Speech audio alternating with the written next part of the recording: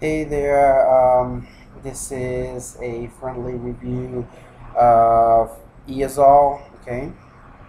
Well, during the last six months, actually eight months, okay, I suffered from back pain, okay, uh, which is lower back pain, okay, um, and also stiff neck by the way I sleep. Um, the doctor told me to change the way I sleep and change the way I sit. But I found that to be very hard.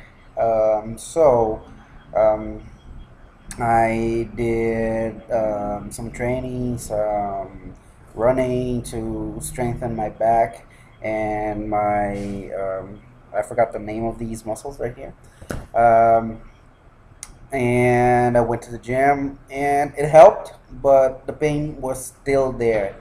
So what I did is I went on to Google and found um, a lot of um, a lot of pills and a lot of things, pain reliefs, um, stuff like that. And I've bought like all of them. Okay, I bought all of them and frankly, two or three helped, but the one that really, really worked was Eazol.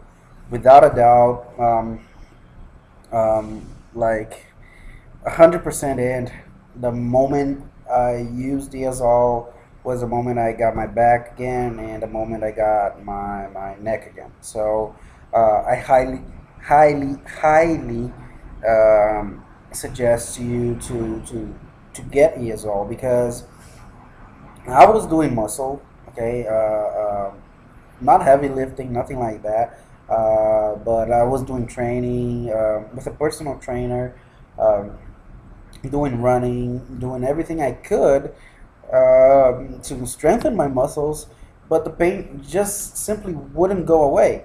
So what I did was, you know, I gotta get something else in order to help this and aid the, the, the training.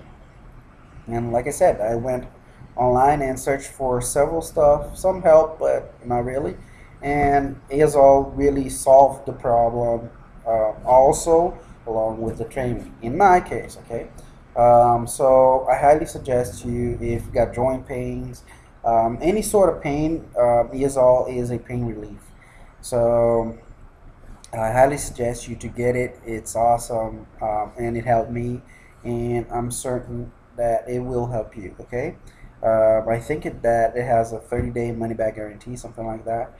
Um, it's very good and it's very, very cheap. Okay, so I highly suggest you to get it. Get yours now, um, and that's it. Okay, peace out. Bye bye.